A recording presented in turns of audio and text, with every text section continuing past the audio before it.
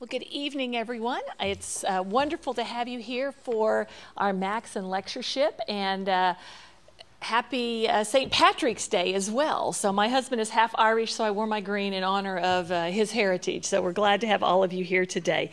Um, the annual Robert P. Maxon lectureship uh, was established through Dorothy Maxon's generous endowment gift to the School of Business in honor of her husband, Robert Maxon, who was a graduate of the business school in 1948. He was also a decorated World War II veteran and an executive with Mobil Corporation for many years. And so we appreciate deeply their commitment to the school, uh, to the education of our students, and to this lectureship uh, through the years.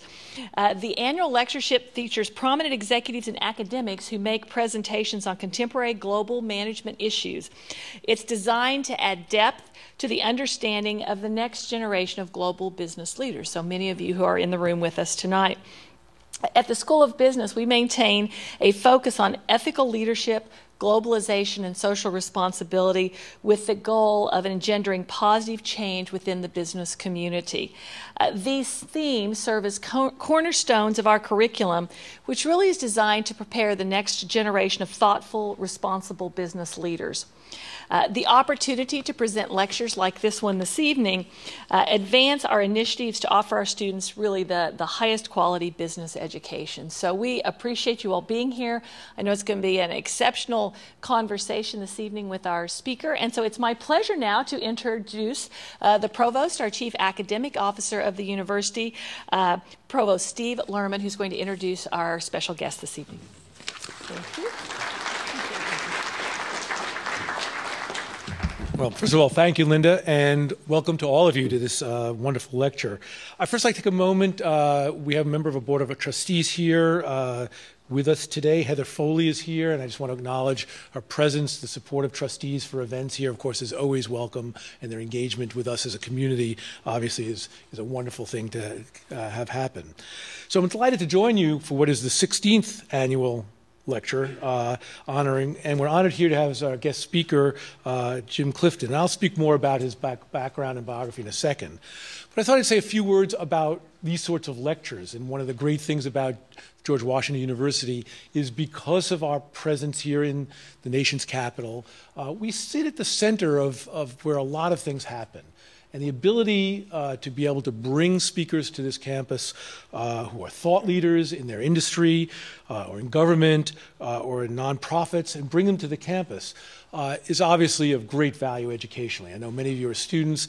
There are many places where you would come to study where you would not get that experience on the routine basis it happens here. Now, the other great thing, of course, is that this lecture was endowed by a, a gift. Someone gave money in this case, uh, to fund the costs associated with gathering us together. These sorts of things, the combination of the philanthropy and the access we have here in Washington to thought leaders, really is part of what makes the whole experience of being GW very, very special. And so, with thanks to the uh, donors, and thanks, of course, to uh, Mr. Clifton, and of course, thanks to all of you for showing up, it's my pleasure now to introduce today's speaker. Uh, so, Jim Clifton is the chairman and the CEO of Gallup, uh, a brand name, of course, known around the world. He's held that position since 1988. Uh, under his leadership, Gallup, which is a global leader in consulting and public opinion research and analytics, has expanded for what was previously essentially a US dominated uh, market and dominated company to what is now a worldwide organization with dozens of offices in over 20 countries around the world. He's the creator of the Gallup Path, uh, which is a metric based econ- economic model that helps organizations find links between human nature in the workplace and business outcomes. This Gallup Path uh, has been adopted by more than 500 of the world's leading companies. His most recent innovation, the Gallup World Poll, is designed to give the world's 7 billion citizens a voice in issues ranging from basic individual needs of water and air quality to global perspectives on leadership, world trade, and other issues. He's a prolific writer. He's the editor of The Coming Jobs War and co author of a book called The Entrepreneurial Strengths Finder. He's written extensively on the subject of global leadership, and his chairman's blog regularly appears in the influence section on LinkedIn. Mr. Clifton has long advocated the benefits of education, which of course means it's entirely appropriate for him to be here. He served as the chairman of the Thurgood Marshall College Fund. For those of you who don't know this organization, or many of you I'm sure do, it's an organization devoted to supporting college students, and they've supported over 300,000 college students financially in schools around the entire country. This commitment has earned him numerous awards, including honorary degrees from Bellevue University, Medgar Evers College, and Jackson State University, acknowledging his extraordinary contributions to the education of young people. His lecture this evening is entitled How Entrepreneurs and Business Builders Change the World. An entirely appropriate topic given particularly for your students here, who we all, of course, and you all aspire to actually become business leaders who change the world. So, ladies and gentlemen, please join me in welcoming Jim Clifton to the podium.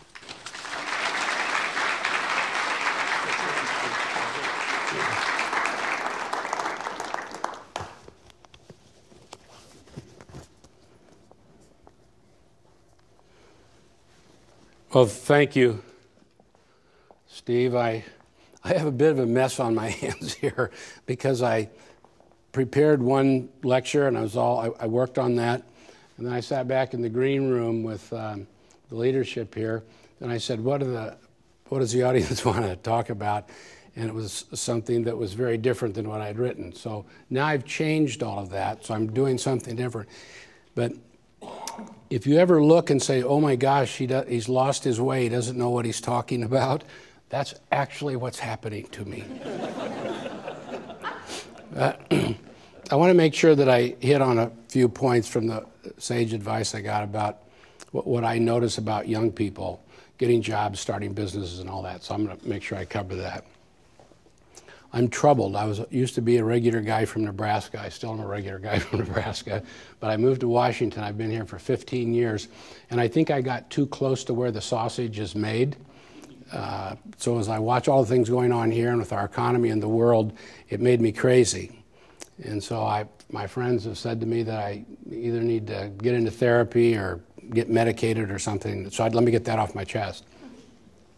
I was watching. Uh, TV about 35 years ago, and there's a panel of economists on. Maybe one of them was from the business school here. and they were talking about the future of America and, its, and her role in the, in the world. And both left leaning and right leaning economists just casually talked about how Germany and Japan's GDP would pass us, not unlike you hear about Japan. And they said that they would pass us because of superior management techniques, superior production, superior quality, and all that. And they all just agreed on it. And you all know what GDP is. It's it, to oversimplify, it's just everybody's sales. You just add up all the companies, the small ones and tiny ones, and production. You put them all together.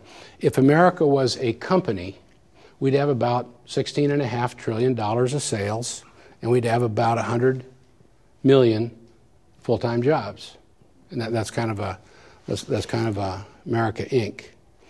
But they said that Japan, so it's about now. This is their prediction. So these are they were all making their, as economists do, their best guesses. They said right now Japan would be at about five billion, and they said that Germany would be at about I don't know three and three quarters, three point eight trillion, and that America would come in right now at about three and a half trillion. Can you imagine that? If this economy was cooking along at three and a half trillion rather than 16 and a half, we not only wouldn't be leaders of the free world, we would be more broke than we are now. And this country is really broke right now. But now think about that. Look back and you say, well, how did those economists do? You say, well, they blew it. No, they only blew it with America. They were spot on with Japan because Japan's right at about 5 trillion. And uh, Germany is at about, what are they at? I don't know, 3 point, they're right at 3.8, 3 and 3 quarters. They had bullseyes on those too.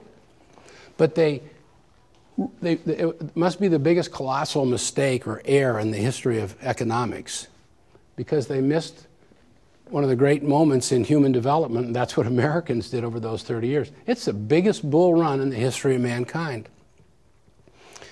Are there nerds in this class? Are there nerds here? I think I, a couple of you back there should have your hands up because uh, there's one. There, think that bold. There's a bold nerd back there. He's got his hand right up. I have I have many nerdy days and I love them. But what I did is I took the the 30 years to the two and a half trillion end of the curve that arced up to 16 and a half trillion, and I added the stubs of the overperformance each year for the 30 years. you know what that totals?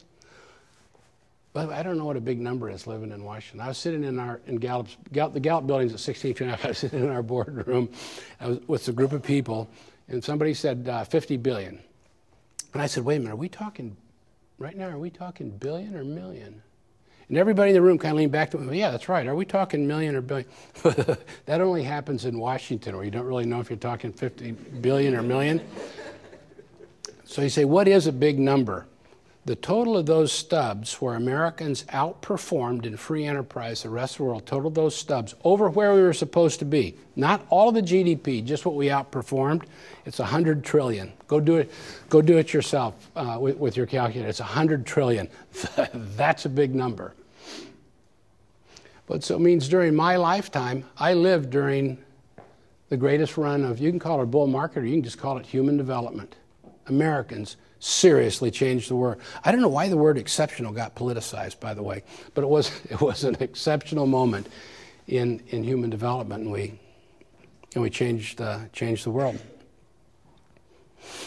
By the way, we had so much money you could do anything you wanted you know, universities, the university system in America is unbelievable. Even when the Chinese put that list of the top, uh, the top 100 together, we're still, we're, we're 50 of those. You know the ways you can do it with universities? Because we got $100 trillion. If we wouldn't have that 100, we wouldn't have these universities. You know, I love space. I love the military. Military, you know, our budget now is down to half a trillion a year. That's more than the next 20 countries put together. Healthcare, we spend right now about 3 trillion just on 300 million people. We spend about 10,000 a person, which is more than double what other good countries spend. Germany, France, Canada, England, we spend more than twice per person. This one, this one will be discomforting. They live longer than we do. So when you say, well, this great American healthcare system and all that, are you sure? Because it looks to me like the more they spend on us, the faster they kill us. But you know why we can spend so much? Hell, it's reckless. We don't even have to take care of ourselves. We just go in and go, Doctor, I smoke, I'm obese, everything, I'm, I don't work out. Heal me. You know why we can do that as big old fat smoking Americans? Because we got $100 trillion. Instead of put a man on the moon, Eisenhower and Van Allen, you know what? You know why we could do that when the Russians put it? because we were just in the beginning of that hundred that hundred trillion dollars. The, the, I'm all for this. I asked a general. I said, "What do we get for you know five six hundred billion a year with defense?" Did you know this? So we can have battle on three fronts, and we can have total annihilation in the first 24 hours of war. That's what he told me. So that means that we could that means we could have war with um, uh, China, Russia, who would the other one be? Canada? No. North Korea. Yeah, North Korea. But that's what you get for that for that money. But think about that. You add China, Japan, and everybody else together, and it still does. Do you know why we can have a military like this? It's not just because oh we're brave. I love the military, so I'm not making fun of them. But you know why we can have all that neat stuff over there? Because of a hundred trillion dollars. I'm, I think it's great that we put Pioneer 10 out 8.4 billion miles. You got to Google it because you won't believe it. 8.4 billion miles. The sun's out only 90 million. Yeah. What's the moon? The moon's not out very far, is it? 86,000. Okay, 186. That's good. You win a you win a ride on that duck bus I see around here. I'll pay. Uh, but 186. But that's so. I mean, you could almost drive your car to the moon. I mean, if they had, if they had a road there. The sun's out 90, but that means we got Pioneer 10 out 100 times farther than the sun. I don't know what good it does. We're getting a signal back. Good. You know why we can do that? because we got that 100 trillion. We just blow money everywhere. Promise money for retirement and Medicare and Medicaid, just anything that you want. And now we don't. And so, where are we right now? I, we were just talking in the green room. Don't you love it? We finally have an issue that both sides agree to the far left and the far right. And you want to know what it is? It's unemployment and GDP growth. Because you know what they both tell us? White House and the president tell us we've added more jobs in the last five, six years than we have in the first, blah, blah, blah, blah, blah. You know when they say we added 250,000 jobs in February? Do you know what they forget to say? We 300,000 fell out, and the number of people in the workforce is the smallest it's been as a percent in 40 years. Why didn't you say that to me? Did you forget? Is it that hard to remember? So then I turn over to Squawk Box. They should tell me the truth because they're the right. And you know what they say? They say that unemployment's the best it's ever been, and they say we've turned the corner with GDP. Well, what's the economists doing? Why do they do that? Do they hate Europe? That's a European magazine, of course. But they're cheerleaders for our economy, and they say, America's back. I'm just going to tell you a couple points.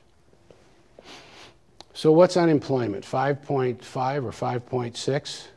Is it? Remember what, the, remember what the denominator is. The denominator is people that are, that are um, in the workforce, which means that you applied for a job that week. But now, if I come over, if I mow Isabel's yard, and it takes me one hour more, this is the bar at the Department of Labor. More power to them, they try to do their jobs right. And I get 20 bucks. I'm not unemployed. And let's say I'm an engineer, I have a degree from George Washington. I'm not unemployed. If I come out of the workforce and I'm, uh, just because I've given up, I just don't look, I just can't get hired at all, I'm not counted as out of the workforce. This one, you better Google it because you won't believe it. Do you know how many people have claimed disability and we've given it to them? 13 million. We have more people on disability than we do right now unemployed, according to the definitions. The only one that really makes sense is this one. Do you have a full time job? You got to clean all the other crap, crap out and that's 35 plus hours a week with a paycheck for an organization. That number right now, is by, as reported by the Department of Labor, is 48%. For this to work, we have to be at a minimum of 52. It doesn't sound like much, 4%. That's of the adult population. Are you the, the are you the only one interested in all these numbers? but, but that's 10 million. That's 10 million people. But have you been watching House of Cards? Did you see that? He, the, what's his name's running for president because we need 10 million new jobs? He's right. So people say, what happened to the middle class? That's where they, he found them. The House of Cards guy found them. They're right there. We don't have full time jobs anymore. And so those are the things that are falling out of the workplace, and we're replacing them with part time crappy jobs. Gallup measures the same thing. Now remember, the Department of Labor does this with a survey. It's not, they're not counting um, receipts or jobless applications. It's just a survey. They do 60,000 a month. We mirror it with 30,000. We show 44% of the adult population has a full-time job because we don't count self-employed. Department of Labor counts self-employed, fine with me, they're at 48. Both those numbers, the 48 is the lowest it's been per capita in 35 years. So in the White House and Wall Street both say it's the best the workplace has been and blah, blah, blah, blah, blah. It's the worst it's been for full-time jobs. And of course, and of course that's what everybody wants. I didn't mean to make you miserable. I want to get that out. GDP, they'll tell you, is, is that's because the third quarter was five. You're business students, you know all this stuff. Second quarter was 4.6, and so they averaged those two. So you get, you know, 4.85, whatever it is. Well, why didn't you tell me what the first quarter was? That was a minus number. You just not add that one in? Because when you put them all together, this year was actually, what is it? Is it 2.4? But if you do a blended five years since the meltdown, we're at about 2.2. I can't be any more clear about this. We're going broke. The country's absolutely going broke. There's no other side to it. That's why I need medicated, and that's, that's why I need to get it. That's why I need to get into therapy. Because every place you go, from reading European magazines to the Squawk Box to the White House, they keep telling us something different. We put a team on it at Gallup to try to figure out where it is. I'm sorry, I'm going to look at my watch because I don't want to go over. We put a team at Gallup to try to figure this out. You got great big companies, and you got middle sized, and you got small. The Small Business Association will, uh, uh, administration will tell you that there's 26 million businesses. There's not. There's 6 million. 20 million have no employees. Let's just clean those out. I don't know why, I don't know why they report that 20 million. There's 6 million. Of the 6 million, 4 million of them are mom and pop shops. They average 1.4 people. This town, everybody trying to do their job right, thinks those are entrepreneurs. They are anything but entrepreneurs. They're just people that want a lifestyle. The most important thing to them in the world is freedom. They're, if you go to them and say, hey, let me help you double or whatever, they don't want to double. They just want more freedom. If you can help them get more freedom, they'll do that. They don't want to grow. But of the 6 million active businesses, 4 million of them are those types.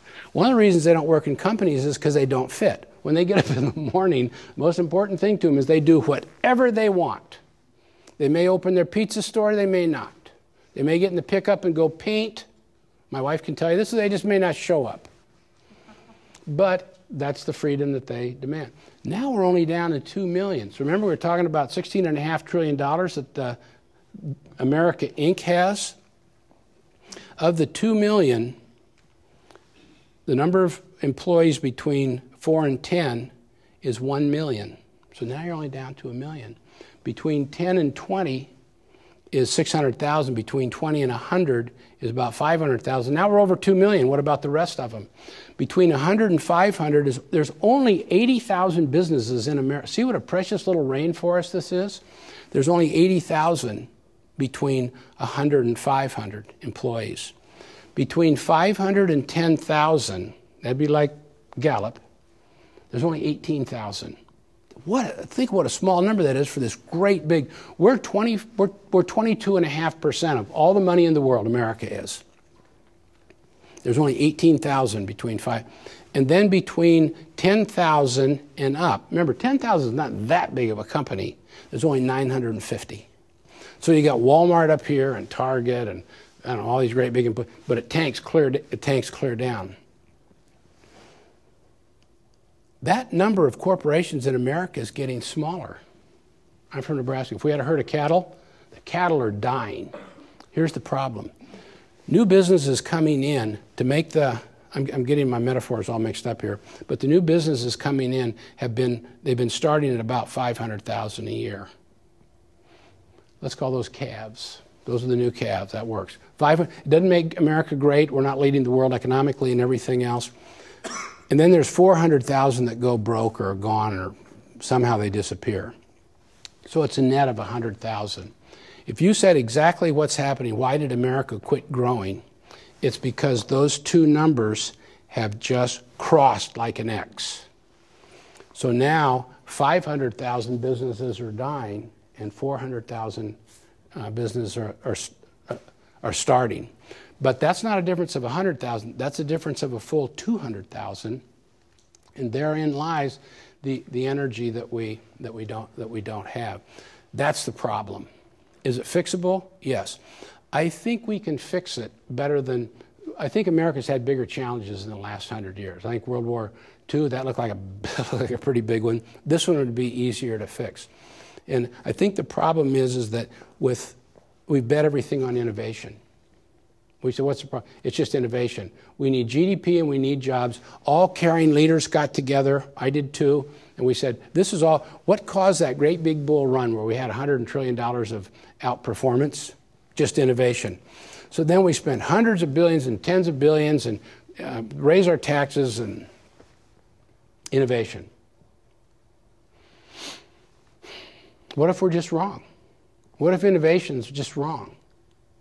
We see we're wrong about how the country's doing right now. What about if we're just wrong with that? So our thinking's wrong, our premises are wrong. And there's a problem with that as a leader. When your premises are wrong, the more you lead, the worse you make your whatever you're leading.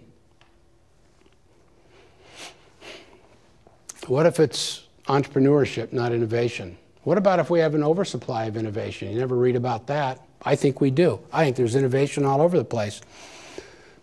The lady asked me, um, she, she called me and she said, Jim, can you come up to Academy of Science? I need you to give a quick talk. I said, today? Yeah. I said, uh, it was 9.30, and she said, I need you here at 11.30. I want you to talk from 11.30. And I said, who's in? She said, it's the presidents of the, of the um, research labs in America. And when you have the presidents of America's research labs, uh, NIH and NASA and um, uh, whatever the other ones are, MIT and all that, you, you have really good people.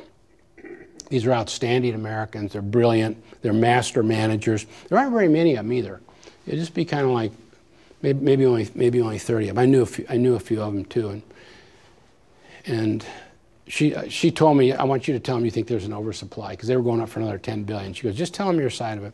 I said, listen, you guys, before you start throwing stuff at me, how many of you in your labs have inventions that just need business models? Every hand went up.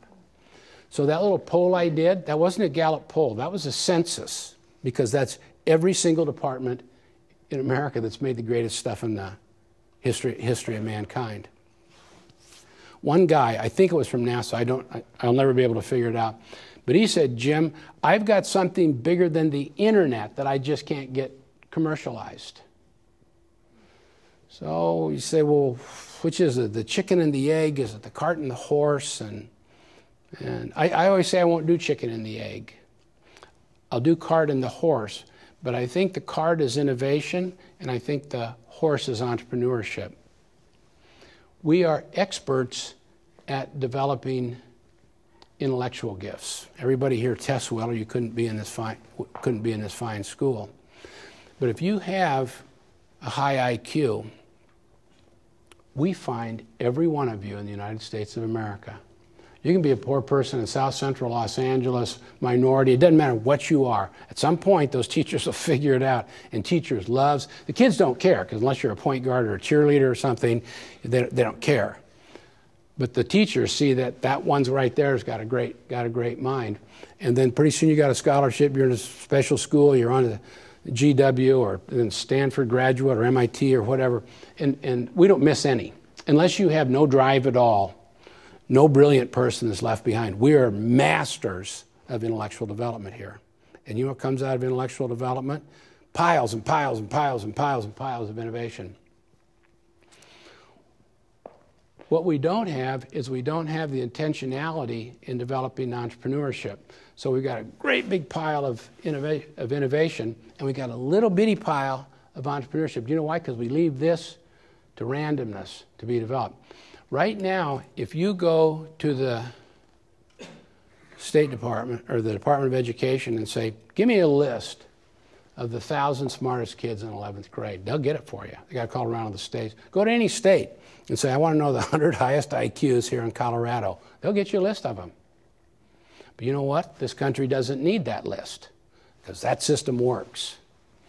But if you go and say, give me the thousand kids with the most unusual ability to build a business, which is the only thing we need, they don't have that list. If you go out to Colorado and say, Are there any people here that have a real, just, they're freaks of nature that could just build something of any size? They go, We don't have any idea. We know, we know brilliance. We've got a line on every running back. We know where all the running backs are. Point guards, we don't, we've never, no point guards are left behind in this country. Quarterbacks. Hey, you see, they, they get hockey. You know, I saw that, that you know, they found a hockey kid in uh, grade school.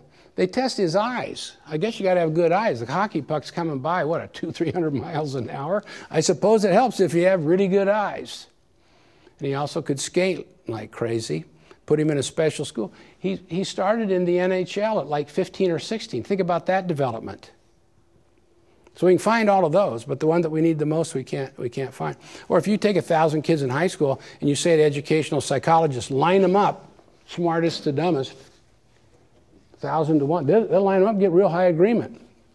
But then you say, line them up, tell me about their, their, their unusual ability to start a business and build a big company. Then we, we, shrug our, we shrug our shoulders.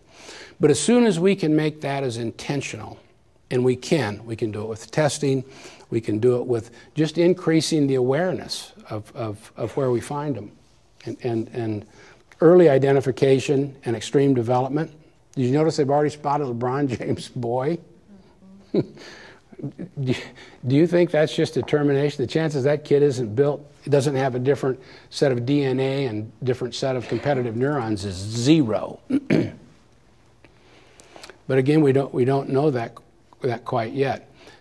And it, until we get that settled, I think it's going to be real hard for our country to make a big comeback because right now we have a philosophy that anybody can become an entrepreneur. If you think that's true, you believe that anybody can be in the NBA. You believe that anybody can quarterback the Denver Broncos. And God created us equally, but He gave us very different gifts, and we all have gifts that we can develop infinitely. But we got to make sure that we know what those are. And right now, all of us have got to figure out who those people are. I'm going to try. I'm going to try to just kind of suddenly wrap this up so we have time for questions. But there's a role that all of us can play in bringing America back, and it's what role can we play in new startups? If we take the number of 400,000 and just knock it up to 600,000 new startups, remember it's crashing right now. And with that crash, I think the, this isn't political, this is, this is just me. I think the world works better when America is very dominant. You need some kind of leadership. And when we've dominated the, the, world economically, I'm not talking about militarily, I'm just talking about economically, we build better friendships. We build partnerships around the world. We help China. We got a lot more to do in the Middle East, but at the very end of the day, where we can go help people grow, they get jobs. And I'll sound like now I sound like I've leaned right then. Now I sound like I lean way left. I don't think there would be an ISIS or a Ferguson if the if the economies were strong in those areas. So when young men, I say men because men are more dangerous when they don't have jobs than women, if they would get up and have a real challenge rather than absolutely nothing and humiliation to deal with because they don't have a job, I think that that would that would change the world. All of us have a role to play in this. We can either be entrepreneurs ourselves, or it's not unlike putting a band together. You do need a lead singer, sort of an alpha entrepreneur type. Somebody's got to write those songs. Somebody's got to play drums. Somebody's got to be the, uh, the person that plays the accordion. But there's a cell in there, or a petri dish, where a lot of different people play. I started something 40 years ago. And one of the guys that was most important, Gale Muller, in, in this, uh, he doesn't have an entrepreneurial bone in his body. He didn't even think sales works. But boy, can he hold people together and, and, and run teams. I've been mentoring some kids um, that have, we, we, we're building tests right now. It's not too hard to test. You can sort people out pretty, pretty fast that have unusual determinations, sense for business model, sense for customers, and that kind of thing. But I think you can become one. You can play on the team. You guys, you also can start venture capital firms. You can join a venture capital firm. You can go find the right people uh, to get behind. You can join Lemonade Days, which is something I, am a part of here. It's about God, when you watch those uh, when you watch those kids, it is so easy to pick out the stars. You don't need tests or anything else. It's like watching uh, a bunch of kids play soccer. You know, that you look out and you go, boy, that one will be playing uh, in the in the World Cup. You can do the you can do the same thing with this. But as Americans, we've got to start developing a whole different new road for entrepreneurship. We've got to be writing down what we learn. We've got to do a lot of research about it at great universities like this, and put the course on a or put the country on a very entrepreneurial course.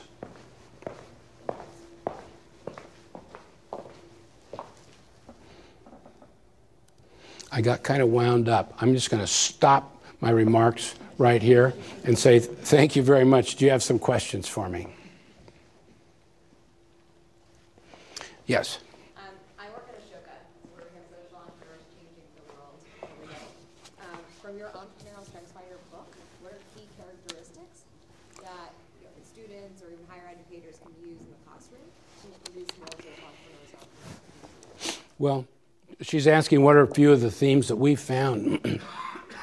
First of all, is unusual determination, but very rare.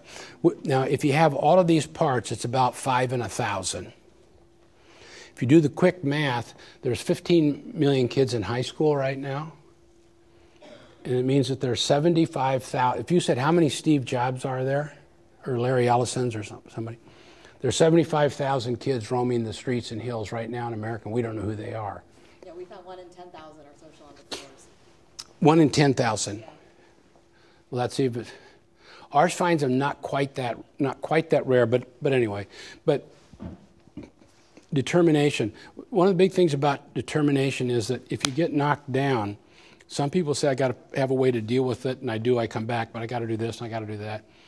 The, if you have extreme determination, when I knock you down, you have a governor that actually makes you more determined. Um, so, so that, that's one. Another one is that they have a, nat- a natural inclination to profitability in, in business, making a profit. You know, there's a joke that the bad business person says, I buy steaks at $7 and sell them at, it's not funny, but it's a joke. I buy, buy steaks at $7 and I sell them at 5 And the other person says, Well, how are you ever going to make a profit that way? And you go, Volume.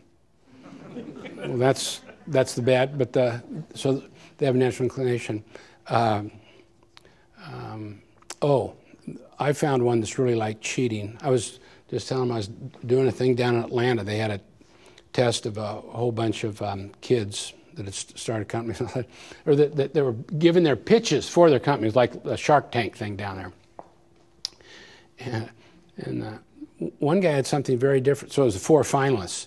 One guy had something that was very different than the other three. What do you think his was? He, he already had a whole business set up and running. You don't, he didn't need to answer the questions or anything. It's, it's working now. But you can ask very young people, do you, so you can ask them tricky questions, you know, find out about their neuron configurations, their wiring and all that. But how about this one? Do you run a business right now? People that have high entrepreneurial, they, they already know that they have that.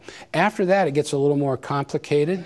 You have some people that, we were talking about Richard Branson, and yeah, Richard Branson's afraid of audiences, very odd. Um, very afraid. Now, if he's with a small group, he's one of the most persuasive people in the, in, in the world. And he's very good with relationships, very warm. And all. But after that, you'll have pieces in there that you've got to realize are your strengths and then put those together. So it's really how you play kind of your own piano keys. Um, but but those, are a, those are a few important ones. You can't make it without the extreme deter- you have no chance without the extreme determination.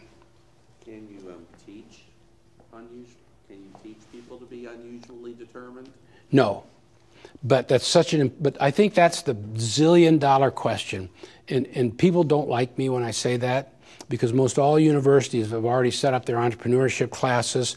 And I kind of developed this theory so you can, don't dislike Gallup for me saying it, just dislike Jim Clifton. But they'll ask me to go to their entrepreneur classes, and I sit down with these poor guys. I, I, they were, this one I'm talking about was all the young men. And I don't know if they'd all given up that they couldn't become something else, but somebody talked to me to saying, well, you ought to try being an entrepreneur. You, you wouldn't bet $5 on any, on any one of these. They're nags, you know. But, so, but some caring professor, some caring American is just on the wrong. But here's what's important about your question you can develop it. So the question is get the right kid. And now you're teaching will just, it's funny how teaching works on people with a whole bunch of talent. But, but, but the point is, use all that magic stuff that you do on somebody that's loaded with talent. Then, then they grow infinitely. What's your question? How does this unusual determination usually manifest itself in younger children? So, I mean, I know, you know, propensity for understanding business models, but they're just determined everything, solving a Rubik's Cube, coloring inside the lines. Like, what, what is it that normally manifests itself to show that they have that unusual? I, I don't know the answer to your question. I think it would only, I think you and I could only do that observationally. We, we can only pick it up with our testing at about eighth grade. Uh, underneath that, it, it starts to be a, um, a uh, reading test. But I think you can observe. Boy, it's so easy to observe with uh, how you know the wound up. You know, kids will get some this lemonade days thing that some of you are involved in. But you know, kids will get some rejection, and yet they'll keep trying. They'll try to they'll try to. Some, I think you can observationally. We can't really test them very well until the eighth grade. Something I- feel so good about, just as or, or optimistic about, is that we don't show the the the variation in race. God was very egalitarian when he handed this one out. And nobody will write this down. He wasn't as egalitarian handing out IQ, but he was with this, and this is the one we need most of all. But so far, we show blacks, Hispanics, um, Anglos to have no significant difference. That's not the big one, though. The big one is no significant difference between men and women. All the low hanging fruit. If you want to bring America back fast, the one you'd work on is women because women should be able to create businesses, and they're not creating enough. The- We're, the, we're way behind with women, um, but, but there's, uh, I think that's where the lowest. I think that's where the lowest hanging fruit is. I was going to say, oh, um, the the one that does predict though is if you're an immigrant. So immigrants are like four times more likely to have the determination. Like makes sense, doesn't it? And then if you're one degree off the immigrant, you have like two to three times more. So one of the reasons we might need a whole bunch of immigration is because we, you can, I can say this. I don't know. Can somebody fire me? But we need immigrants to breed us up. Because whatever they do and they're coming in, you, you start following it. And the closer you are to immigrants, more likely you are to start business start businesses. I did another nerdy day. You, you take that whole thing. You could argue San Francisco, the determination, innovation, and everything else that happened out there with venture capital people and the university getting all wound up, saved Americans, saved America, in that 16 and a half trillion. I mean, it's uh, incredible what they what they did out there. Another guy and I figured out only a thousand Americans did that. Think how small that is. How the hell did that happen? But of the thousand, 600 of them weren't born in America. They're Americans, but they weren't born in America. Most of them are Indians. But when, but th- there's your, there's the unusual energy because that's way outside the, the, the norm. What's your question? So, Jim, personality issues and individual differences are important, but culture is important too. Don't we have a culture that's hostile, openly hostile to business and entrepreneurship and wealth creation? Yeah, there's no question we do. The, the spirit of free enterprise is really off. And, and if you said, what is it that causes that? You know, there's a few of them you can go back to. Look at the gold rush. People are just crazy. Think of that energy. But that's a, that's a spirit of free enterprise like you haven't seen for a long time until the dot uh, com move came along. Think of all of that energy. You know, people go broke. It's kind of ugly to watch, but up out of it pops, you know, Yahoo and Amazon and Google and all, all, all kinds of things. But there is no question that, that there's a, uh, a, a, damper on the, on the spirit of uh, free, free enterprise right now. How would you weigh the importance of the two? Of which, of, uh, Individual differences, this determination that you find in certain people. well, I think I think you get up in the morning and you think this is the morning that I'm gonna that I'm gonna make my move to America. This is the morning I'm gonna get up and I'm gonna start a business, even though my wife told me not to, the minister told me not to, everybody told me I'm crazy and all that. You got to do it. but there's not much resistance in there that can just have you say, well, I'm gonna start tomorrow. And that's where I think that, that, that there's a spirit that makes a difference. And I don't think fiscal tools do. Most people in this town think, well, then we need to, you know, uh, make loans easier. It doesn't make any difference. Because when, when you do a variation study of where loans are more likely to, uh, you, you, don't get, you don't get separation. I'm answering a little different question than you asked. But determination, I think, is about the same as it was maybe 20 years ago. But there's a lot of headwinds right now. Small businesses say, that they're not growing, they're not sticking their necks out because of two reasons, and it's not money, it's regulations. And we say, really, which ones? And the first one out of their mouth is healthcare, second one is environment. So he said, well, we need those. Okay, go ahead.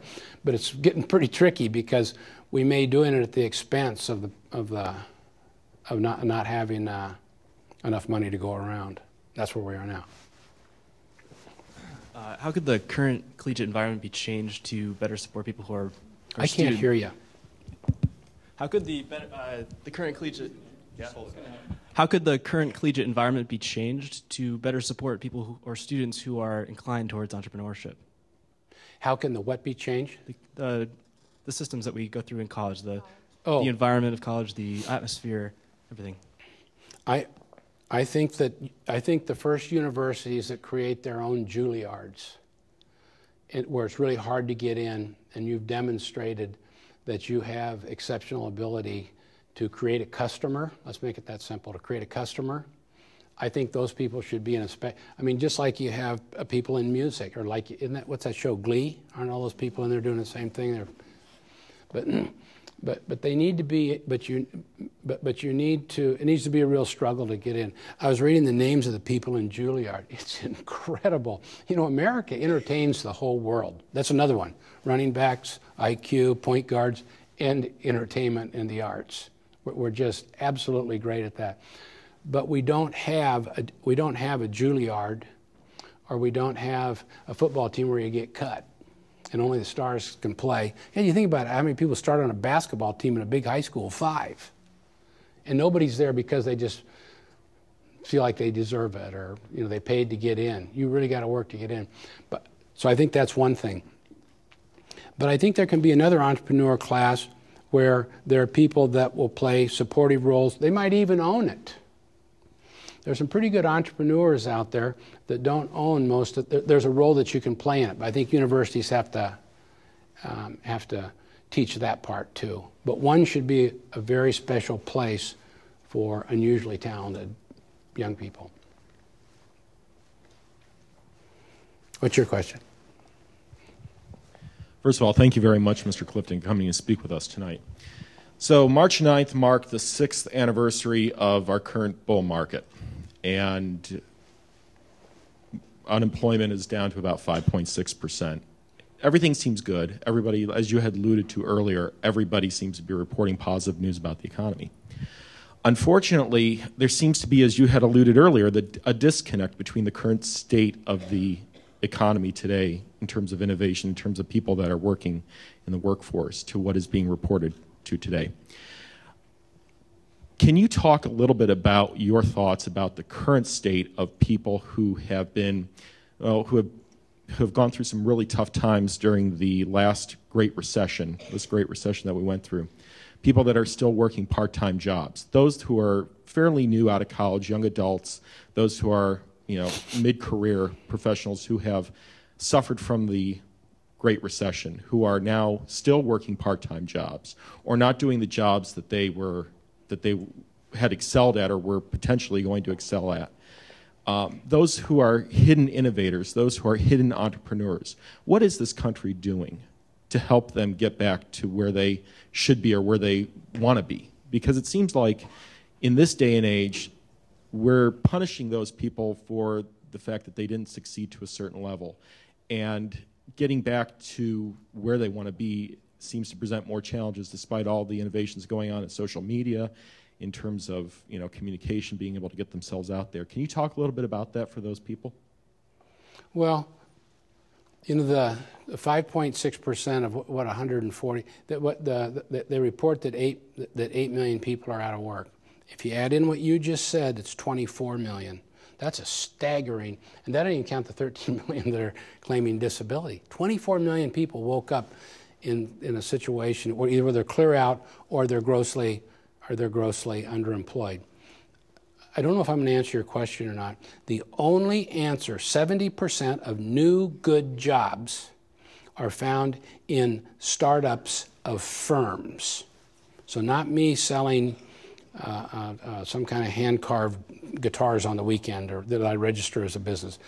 Um, but, but a firm has one full-time employee and a proprietor. That's, it turns out that's a really high bar. But those average, the first year, five full-time good jobs.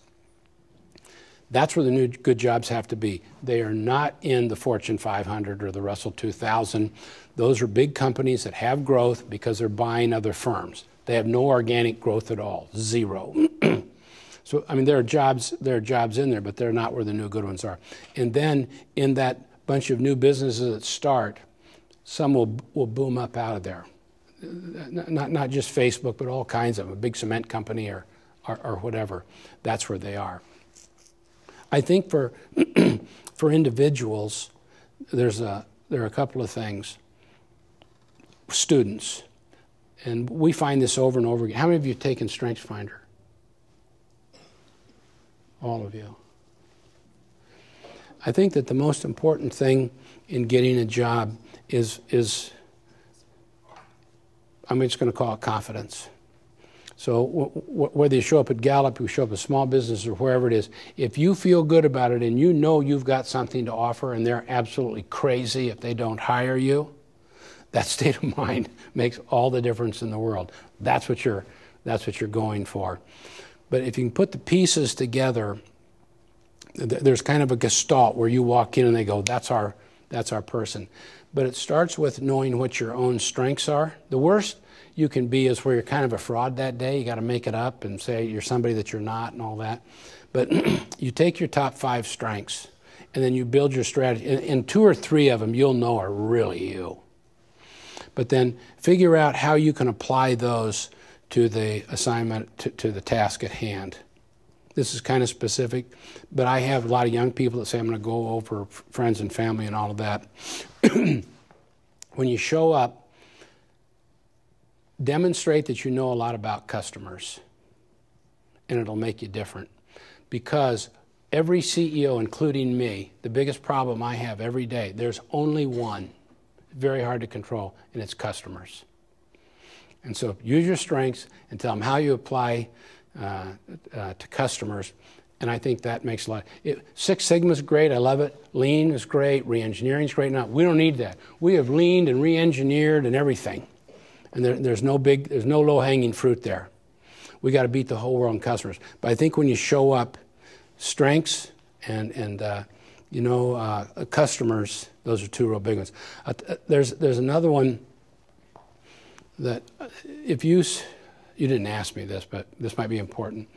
If you said, what are some things that you've, I've had the same job for over 40 years. What are some things that you learned that you never learned in business school?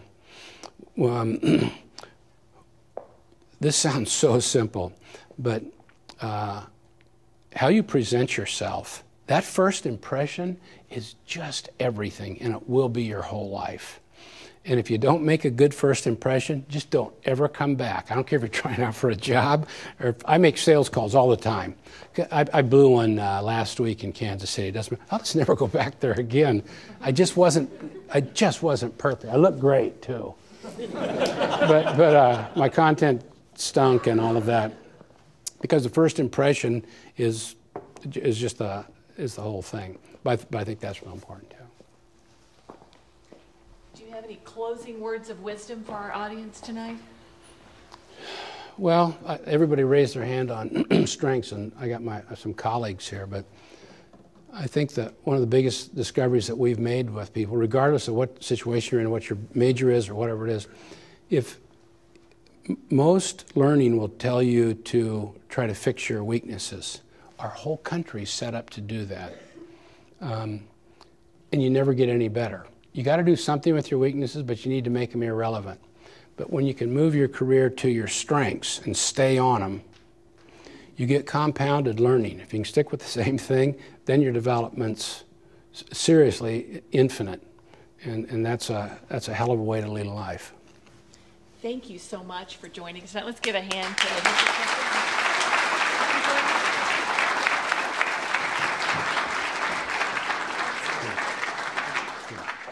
We just have a, small token of appreciation for you joining us for the Maxon Lecture. And thank you so much for your wisdom and insight. And uh, we appreciate you being with us this evening and sharing your time with us. So It's great being here. Thank, you. Thank you so okay. much. Thank you. Okay. And thank all of you for coming this evening and being part of this. I hope you found it uh, interesting and provocative and inspiring in a variety of different ways. And so we wish you uh, a good evening and hope to see you again soon. Thank you.